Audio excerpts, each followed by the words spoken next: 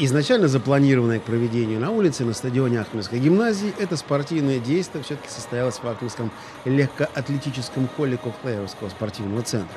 Просто погода подкачала, с дождями у нас в этом году напряженки нет. Зачинателем приключений является Ахмельская гимназия, чьи ученики чувствуют тут себя как дома, но не только им комфортно на этих внеклассных соревнованиях.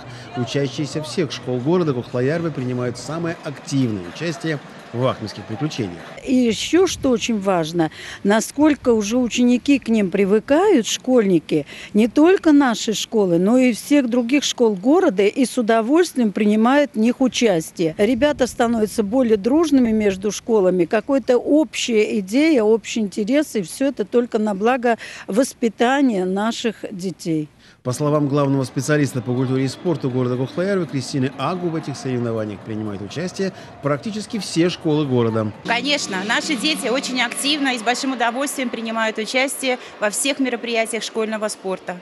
Ахтмесейклюс в этом году у нас открывают игры школьного спорта города Кохлоярве 2017-2018 года. В Ахтмесейклюс принимают участие ребята седьмых-восьмых классов.